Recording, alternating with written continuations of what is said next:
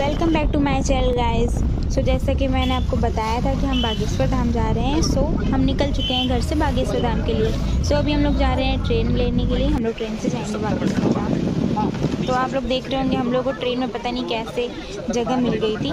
और इतना ज़्यादा क्राउड था कि मैं क्या ही कहूँ, मैं आपको सजेस्ट करूँगी कि ट्यूसडे एंड सैटरडे तो ट्रेन से बिल्कुल भी ट्रैवल मत कीजिए, क्योंकि बहुत ही ज़्यादा भीड़ हो जाती है। क्योंकि हनुमान जी हैं तो हनुमान जी को सब लोग समझते हैं कि हाँ मंगलवार को या फिर शनिवार को दर्शन करना चाहिए। इस वजह से मुझे लगता है कि शायद बहुत ज़्यादा भीड़ थी। सो अभी हम लोग छतरपुर खजुराहो स्टेशन में पहुँच चुके हैं। तो यहाँ पे बहुत ही ज़्यादा स्टेशन पे भी भीड़ थी, सब लोग आसपास बैठे हुए थे। अपनी ट्रेन का वेट कर रहे थे, कुछ लोग ट्रेन से आए हुए थे।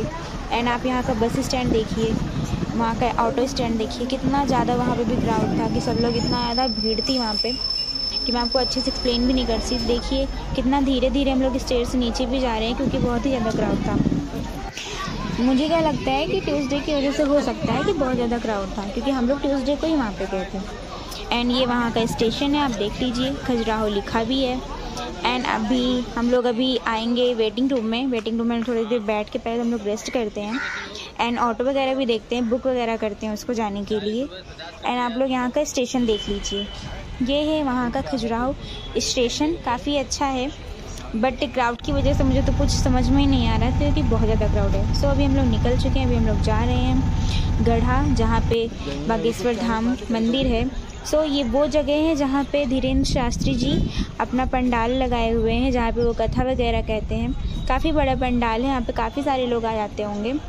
एंड वहाँ पे जगह जगह एलसीडी भी लगी हुई थी आगे का देखने के लिए। सो so, अभी हम लोग मंदिर में आ चुके हैं। मंदिर में हम लोग पीछे वाले जहाँ से पीछे दर्शन होता है, पीछे से दर्शन, वहाँ पे वहाँ से हम लोग दर्शन कर रहे थे क्योंकि आगे की साइड से फ्रंट गेट से इतना ज़्यादा क्राउड था कि हम जगह ही नहीं थी। आप यही समझ लीजिए, देख लीजिए, पीछे जब इतनी जगह नहीं है तो आगे कैसे जगह हो सकती है?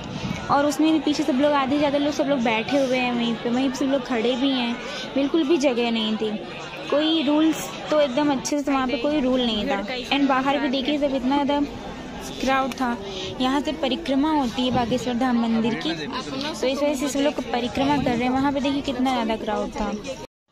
इन्हें तो आप सब जानते ही होंगे, ये हैं धीरेन्द्र शास्त्री। इन्हें कौन कौन नहीं जानता होगा, इन्हें सब जानते ही होंगे। एंड ये वहाँ के हैं, ये हैं बागेश्वर धाम के हनुमान जी, बालाजी, और भी हम लोग इन्हें कई नामों से जानते हैं। ये है यमुना जी। ये हमें वहाँ से आते टाइम रास्ते में मिली हुई थी। सो हमारे चैनल को सब्सक्राइब कीजिए एंड बेल आइकन ज़रूर प्रेस करिएगा ताकि हम कोई भी वीडियो डालें आप, आप तक तुरंत पहुँचे। Thank you